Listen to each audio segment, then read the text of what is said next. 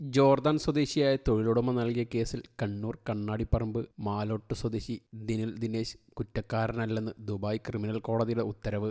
മുൻ ജീവനക്കാരൻ ചെയ്ത വഞ്ചനാക്കുറ്റത്തിന് കൂട്ടുനിന്നതായി ആരോപിച്ച് ദുബായിലെ പ്രമുഖ ഓട്ടോമേഷൻ കമ്പനി നൽകിയ കേസിൽ ഇദ്ദേഹവും പ്രതി ചേർക്കപ്പെടുകയായിരുന്നു രണ്ടായിരത്തി ഇരുപത്തിരണ്ടിലാണ് കേസിനാസ്പദമായ സംഭവം നടക്കുന്നത്. ഈ കേസിലെ ഒന്നാം പ്രതിയും ഇതേ കമ്പനിയിലെ മുൻ ജീവനക്കാരനുമായ പ്രതിയുടെ അസിസ്റ്റന്റായി ജോലി ചെയ്തു വരികയായിരുന്നു ദിനിൽ. ഇതിനിടയിൽ ബാംഗ്ലൂർ സ്വദേശിയായ ഒന്നാം പ്രതി കമ്പനിയിൽ നിന്ന് ജോലി റിസൈൻ ചെയ്തു പോവുകയുണ്ടായി.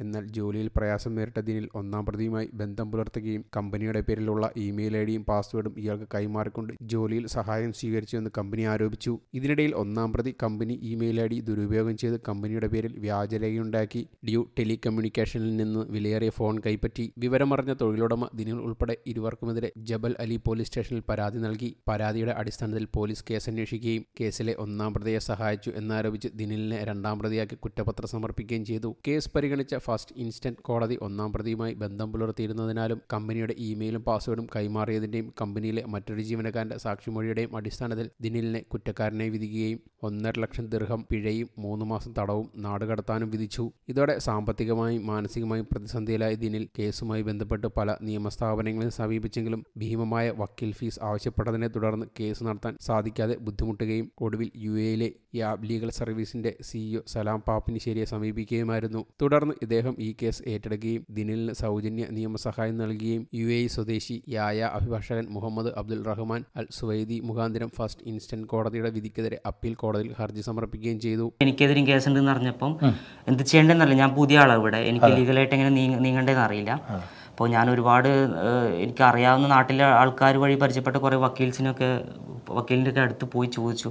അപ്പോൾ അവരൊക്കെ ഒരുപാട് വലിയ ഫീസൊക്കെയാണ് പറയുന്നത്. അമ്മ പറഞ്ഞു സാറിന്റെ അടുക്ക് ഒന്ന് പോയിട്ട് ഒന്ന് അന്വേഷിക്കാൻ വേണ്ടിയിട്ട്. അപ്പം അങ്ങനെയാണ് സാറിനെ ഞാൻ കാണുന്നതും.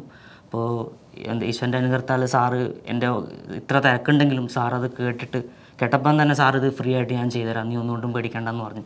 അപ്പോഴാണ് ശരിക്കും ശ്വാസം നേരെയായത് ഒരു മൂന്നാൽ മാസം ഞാനിതിന്റെ പിറകെ നടക്കുമായിരുന്നു എന്താ ചെയ്യേണ്ടതെന്ന് അറിയാണ്ട്. സാറ് കാര്യങ്ങൾ ഏറ്റെടുത്തു ഭംഗിയായി ചെയ്തു തന്നു.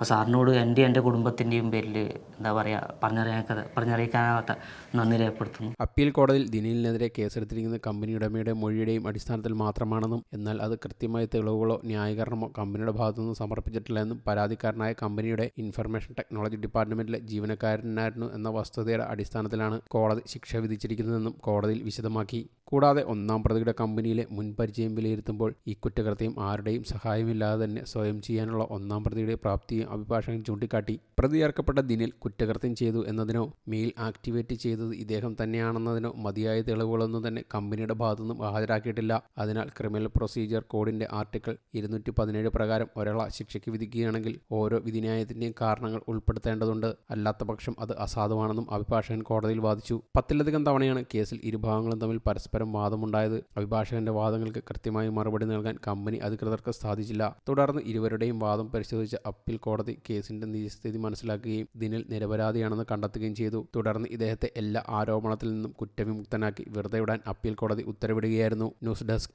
യൂടോക്ക്